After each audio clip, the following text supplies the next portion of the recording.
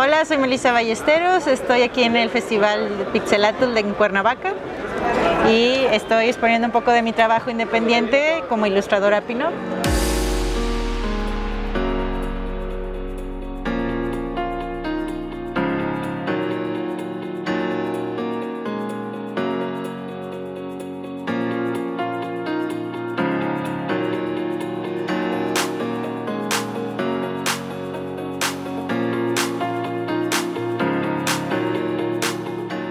Traigo mi libro de sketchbook que publiqué en el 2015, que es como una recopilación de los mejores bocetos que yo hice este año.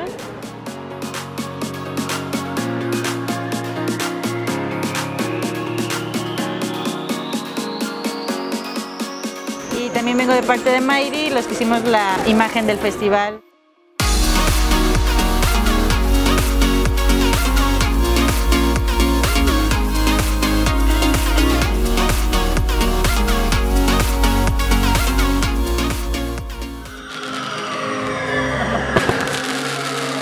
Por el evento de Pixelatl, por recomendaciones, pláticas con amigos, reseñas en blogs que decían que era un evento increíble, que había crecido un montón y era una oportunidad muy grande para artistas de videojuegos, animación y cómic.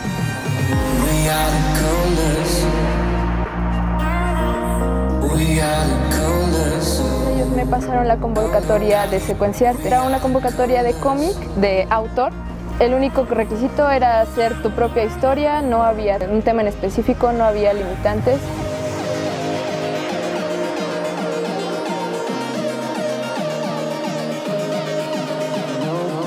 Yo creo que eso lo hicieron justamente para que uno se obligue a hacer una nueva historia, lo cual también está muy padre.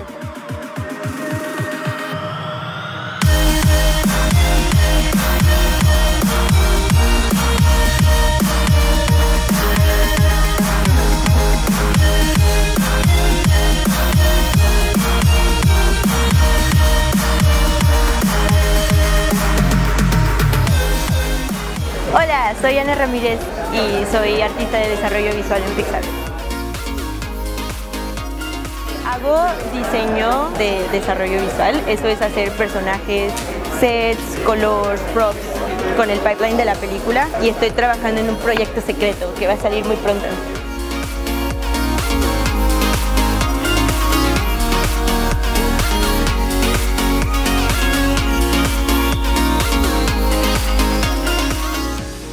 Platiqué del proceso de producción, de, cómo llegué a aplicar a la escuela, cómo hice mi portafolio eh, y en general cosas que yo creí que a lo mejor podrían influenciar o, inspirar a, a los estudiantes y gente que ahorita está estudiando animación en México.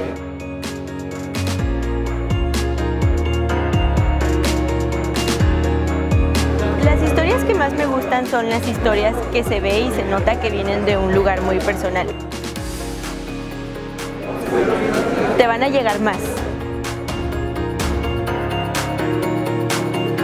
historias que a mí me gustan son las de superación, el héroe que se mete en una situación de la cual no puede salir, al menos que la resuelva, y parece imposible lograrlo.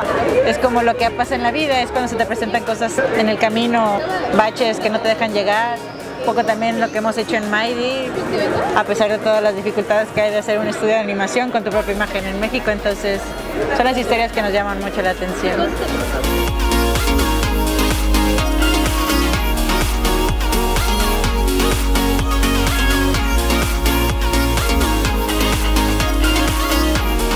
Realmente yo creo que tanto artistas de cómic, escritores, cineastas, todo lo que plasman en sus historias siempre tiene una parte de ellos ya sea de experiencias propias o cosas que les gustaría vivir. A veces hacen alter egos, a veces son realmente vivencias propias, pero yo creo que siempre es el contar al resto de la gente un poco de nosotros, tanto nuestras experiencias como cómo vemos el mundo.